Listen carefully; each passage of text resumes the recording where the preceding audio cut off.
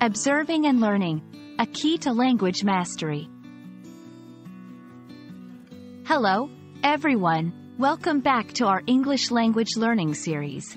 Today, we're going to explore a very interesting and useful phrase, observe and learn. This phrase is not just about watching and imitating. It's a powerful approach to learning any new skill, especially a language like English. So, let's dive in and discover how observing and learning can enhance your language skills. The phrase, observe and learn, is composed of two critical actions.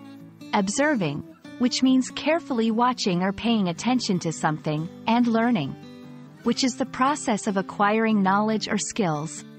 When combined, these actions suggest a method of learning that is active and engaging. It's about paying close attention to how something is done and then applying those observations in your own practice. When it comes to language learning, observation plays a crucial role. This can involve listening to native speakers, watching movies or videos in English, or observing interactions in real-life situations.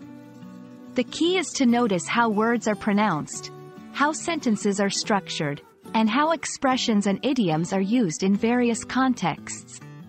It's not just about what is said, but also how it's said.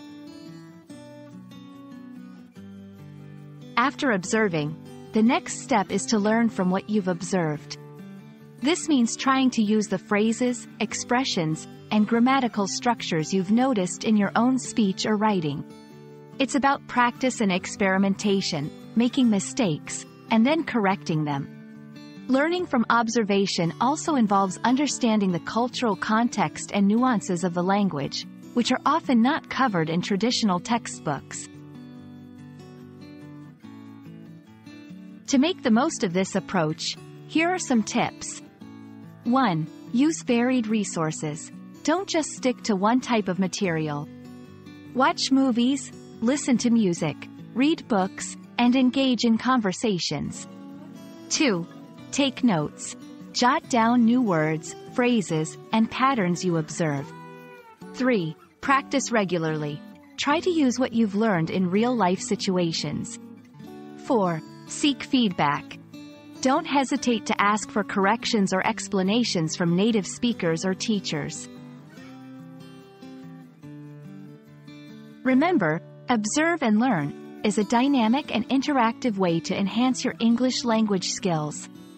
It encourages you to be an active learner, to engage with the language in its natural context, and to apply your observations in practical ways.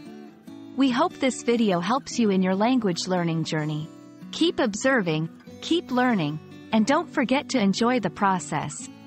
Happy learning, and see you in our next video.